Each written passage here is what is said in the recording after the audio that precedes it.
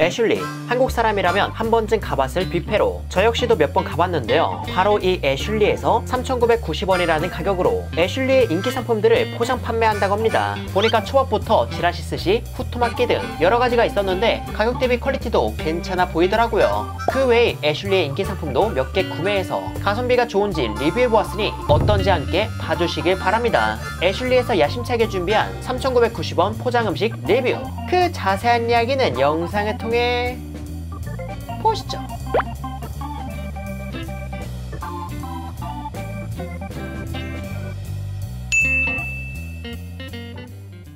오늘 제가 찾아온 곳은 서울 강서구 발산역 인근에 위치한 NC백화점 강서점이에요. 정확히는 NC백화점 지하 1층에 위치한 킴스클럽으로 식료품과 생활용품을 파는 마트인데 바로 이 마트에서 3,990원에 만나는 애슐리의 음식, 즉 월드델리의 상품을 만날 수 있다 해서 이렇게 찾아왔습니다. 저는 바로 지하로 향했고 쭉쭉 들어가 보니 어렵지 않게 월드델리의 음식을 만나볼 수 있었는데요. 음식은 크게 파스타와 뇨끼, 치킨, 중식 요리, 초밥, 샐러드, 디저트, 아시아 음식 등 월드델리라는 이름에 맞춰 그 종류가 정말 다양했습니다. 일단 저는 가장 큰 관심사인 초밥 코너로 향했는데요. 처음 눈에 들어온 건 후토마끼로, 생연어, 새우튀김, 유부, 계란이 밥보다 알차게 들어있었습니다. 가격은 균일가 3,990원이고 총 4개가 들어있어 개당 약 1,000원꼴인데 크게나 내용물을 봤을 때 가성비는 아주 좋아 보입니다. 그 외에 메밀면을 넣은 소바 와끼와 다른 롤 종류가 있었지만 회가 들어가진 않아서 빠르게 패스하고 바로 여코너로 걸음을 옮겼습니다.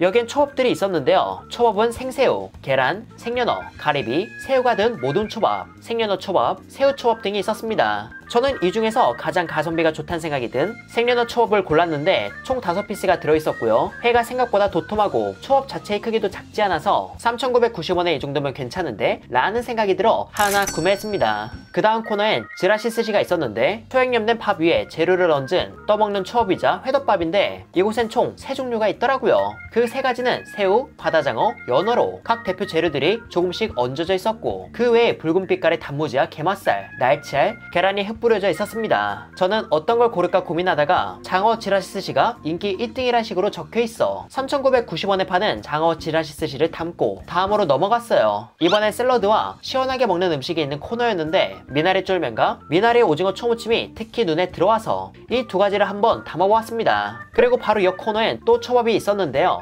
여기엔 양념을 더한 초밥과 롤초밥, 유부초밥이 있었습니다. 롤은 그냥 연어를 얇게 얹은 롤이었고 유부초밥 위엔 타코와사비, 아보카도, 양파 생연어, 참치 마요 이렇게 있었는데 알찬 크기를 자랑해서 유부초밥은 하나 골라봤고요. 초밥은 명란 마요 새우, 간장 새우, 새우 계란 이렇게 새우 베이스에 양념을 더한 것들이 있었습니다. 다른 초밥은 앞서 본 초밥과 마찬가지로 5개씩 들어있었는데 새우 계란은 토핑이 더욱 알차서 4개만 들어있었으나 그럼에도 가성비적으로 괜찮아 보여서 이것까지 장바구니에 담았습니다. 그 외에 다른 음식들도 몇 개 담아서 구매해 보았으니 얼른 집에 가서 리뷰해 보도록 할게요. 지금 이렇게 해서 음식들을 가지고 집에 왔습니다. 가져와 보니까 정말 음식이 많은데요. 과연 3,990원에 파는 이 음식들의 맛은 어떨지 한번 먹어볼게요. 우선 가장 처음으로는 연어초밥. 총 5개가 들었고 회는 생각보다 도톰해요. 그리고 초밥을 사면 반드시 따라오는 와사비랑 간장은 따로 포함되어 있지 않습니다. 아, 그렇다면 집에 있는 간장과 와사비를 더해서 한번 먹어볼게요. 간장과 와사비가 따로 포함되어 있는 게 아니다 보니까 저는 당연히 이 밥이 꽤나 새콤하고 짭조름하지 않을까 했는데 생각보다 담백합니다. 간장 없이 먹는다면 조금 많이 허전할 것 같은 그런 느낌이었어요. 그리고 이 연어 같은 경우는 우리가 흔히 노르웨이나 스코틀랜드, 호주 이쪽에서 생연어를 많이 받는 편인데요. 그런데 이곳의 생연어는 칠레산 제가 이 칠레산 생연어에 대해 알아보니까 칠레 남부, 즉 남극 쪽에서 양식한다 하고요. 사진으로만 봤을 때에는 우리가 보편적으로 먹는 대서양 연어로 보였습니다. 아마 비교적 낯선 산지이다 보니까 좀 더 저렴하게 들여와서 다음과 같이 가성비 좋게 파는 게 아닐까 싶네요. 아무튼 이 연어는 단순히 생연어를 썰어준 느낌보다는 한번 숙성을 거친 낮은 가격임에도 불구하고 퀄리티는 상당히 챙긴 듯한 느낌을 받았습니다. 다만 밥이 많이 싱겁다는 거 이건 좀 아쉬운 부분인 것 같아요. 그래도 사이즈 하나하나가 커서 가볍게 배채우기에는 괜찮은 양인 것 같습니다. 그리고 다음으로 먹을 건 토토마끼 회김밥이죠. 지금 보시면 연어도 생각보다 적지 않게 들어가 있고 계란, 새우튀김, 유부 밥의 양은 그렇게 많지 않아서 개당 천 원이면은 어, 이 또한 좋은 가격이다. 라는 생각이 들었습니다. 간장과 와사비를 더해서 한번 먹어볼게요. 네, 우선 입에 넣었을 때 달콤하며 짭조름한 유부 맛이 가장 먼저 느껴졌고요. 그 다음에는 안에 들어간 재료들의 식감이 살짝 살짝 느껴졌다. 딱 이 정도였던 것 같습니다. 뭐 새우튀김의 맛이 강하다든지 계란 맛이 크게 튄다든지 연어의 맛이 막 도드라진다든지 그런 건 없었고 그냥 안에 들어간 재료가 부드러운 유부회 김밥 정도라고 보시면 될 것 같습니다. 대중적이에요. 그리고 다음으로 먹을 건 새우 계란 초밥. 요새 회전 초밥 전문점에 가면 다음과 같이 계란 위에 새우를 얹어주는 초밥이 많이 보이는데요. 개인적으로 이 조합 괜찮긴 한데 막 매니아들이 좋아할 그런 맛은 아니고 그냥 대중적으로 초밥을 즐기는 분들이 어 이런 것도 있네? 이거 되게 알차다. 라는 느낌을 받는 그런 초밥이죠 아무튼 이것도 앞서 먹은 회김밥과 마찬가지로 총 4개가 들어서 한 피스에 1,000원 꼴입니다. 제가 기억하기론 회전초밥집에서 이거 한 피스에 거의 2,000원 가까이 했던 걸로 기억하거든요. 그런 걸 생각했을 때 사이즈나 퀄리티나 아주 가성비가 괜찮아 보입니다. 자 그럼 이것도 한번 먹어볼게요. 불로 이 위를 살짝 그을려서 블레음의 소스 맛과 함께 싹 올라왔고요. 그리고 이어서 달큰하며 감칠맛 좋은 이 계란의 맛이 싹 올라오는 게 딱 와사비만 더해 먹으면 정말 대중적으로 맛있게 드실 만한 그런 맛이었습니다. 다만 뭐 회를 좋아하는 분들, 회 매니아 분들을 만족시킬 만한 맛은 아니지만 그냥 가볍게 초밥을 즐기시는 분들 입에는 오, 아주 괜찮을 것 같아요. 그리고 제가 다음으로 먹을 건 장어 지라시 스시. 지라시 스시라는 게 우리가 흔히 알고 있는 그 찌라시 있잖아요. 뿌려진 소금 같은 거죠. 그 말은 이제 일본어 지라시에서 온 거고요. 이 지라시는 흩뿌리다 라는 뜻을 가지고 있습니다. 그래서 다음과 같이 뭐 계란, 날치알, 게말살 같은 걸 초양념된 밥 위에 뿌리고 베트남산 바다장어를 양념해서 얹었습니다. 이 하나의 가격은 3,990원, 4,000원 꼴인데요. 4,000원에 이 정도면 가성비는 좋은 것 같습니다. 뭐 따로 소스가 들어있던 건 아니니까 한번 이대로 먹어볼게요. 네, 조금 슴슴하긴 하지만 간장하고 와사비 없이도 먹을만 했고요. 그리고 이 장어의 맛은 첫 맛은 살짝 비렸어요. 그런데 그 비린 맛도 이제 먹다 보니까는 금방 사라지고 이 장어 위에 뿌려진 데리야끼 소스의 달큰함에 가려지더라고요. 그 외에 밥 위에 뿌려진 재료들은 뭐 적당한 간과 식감을 더해줘서 밥만 많은 떠먹는 초밥이다 라는 느낌이 아니고 가격 대비 그래도 알차게 잘 만들었다 라는 생각이 들었던 음식이었습니다. 비린 거에 정말 예민하신 분들은 이 음식 조금 어려울 수 있을 것 같고요. 그게 아니라면 가격 대비 나쁘지 않게 드실 것 같습니다.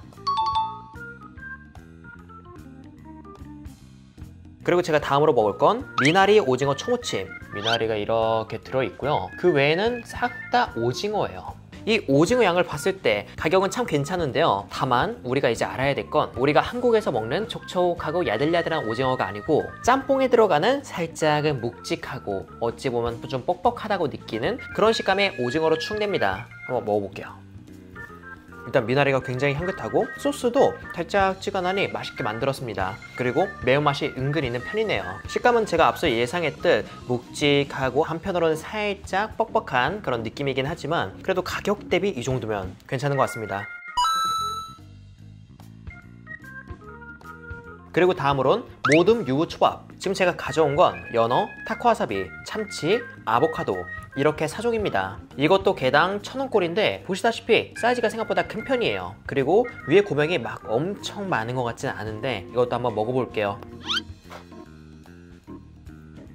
연어 맛이 살짝 묻어있는 밥이 많은 유부초밥. 딱 그런 느낌이었고요. 그런데 밥 양이 너무 많다고 해서 막 싱겁다거나 돈 버린 것 같다 라는 생각이 들진 않았어요. 그저 3,990원 약 4,000원이라는 돈으로 적당히 배를 채우고 싶은 분들에겐 괜찮은 메뉴인 것 같습니다. 이렇게 해서 해산물이 포함된 음식은 전부 먹어봤는데요. 3,990원에 엄청난 맛과 quality를 바랄 순 없지만 이 정도면 아주 마음에 들었습니다 그런데 초밥 말고 다른 메뉴도 많았잖아요 그중 제 눈에 띄었던 메뉴 몇 가지도 간단하게 리뷰해 볼까 합니다. 그래서 제가 이번에 먹을 건 미나리 매콤 쫄면이에요. 이건 오징어 초무침과 함께 먹으면 좋을 것 같아 구매했는데 일단 고명이 많지 않아 면이 정말 많았고요. 쫄면이지만 소면과 쫄면이 섞인 듯한 느낌이라 엄청 쫀쫀하진 않았습니다. 맛은 아주 무난하게 새콤달콤 매콤해서 오징어 초무침에 탄수화물이 필요하다면 한번 드셔보시는 걸 추천드립니다. 그 다음으론 투움바 요끼라는 걸 먹어봤는데 이건 크림 소스에 고춧가루의 매콤함이 가볍게 묻어있어. 마냥 느끼하지 않았고 요끼는 감자 수제비 같은 느낌으로 식당의 요끼보단 밀도가 높고 더 수제비 같이 쫄깃했습니다. 고명으로 새우 3마리가 전부였지만 약 4,000원이라는 금액에 이렇게 먹을 수 있다는 게 참 신기하게 느껴졌네요 그리고 다음엔 바베큐 pork rib을 먹었는데 이건 토마토 퓨레가 더해진 바베큐 소스 맛에 고기는 엄청 질기지 않았지만 수분감이 적어서 막 엄청 부드럽지도 않은 가격 대비 무난무난한 quality였습니다. 총 5조각이었는데 나름 살도 잘 붙어있고 했기에 pork rib을 좋아하신다면 관심해 두셔도 좋을 것 같아요. 마지막으로 signature라고 하는 순살 치킨을 먹었는데 이 또한 가격 대비 양이 깡패라서 기본만 해도 좋겠다 싶었거든요. 그런데 기본은 충분히 했고 튀김옷이 얇고 고기의 quality는 브라질 닭 다리살로 적당해서 에어프라이어에 돌려만 먹는다면 역시 아주 만족하실 걸로 보입니다. 지금 이렇게 해서 애슐리에서 만든 상품들을 한번 먹어봤는데요. 이 애슐리라는 곳이 해산물이 특화된 곳이 아니다 보니 제가 리뷰할 일이 거의 없었어요. 그럼에도 불구하고 초밥 쪽 음식들이 생각보다 다양했고 그리고 가격 대비 quality도 괜찮아서 제 리뷰를 보시고 이 음식이 괜찮아 보인다면 나중에 한번 방문을 해보셔도 괜찮을 것 같아요. 현재 이 애슐리 투고는 킴스클럽 강서점에서만 판매를 하고 있거든요. 그런데 워낙 인기가 많아서 강남점에도 입점할 예정이라고 하니 이 부분도 참고해 주시길 바랍니다. 아무튼 가격을 고려했을 때 정말 만족스럽게 먹었던 오늘의 리뷰 이만 마치도록 하겠습니다. 그럼 여러분들 안녕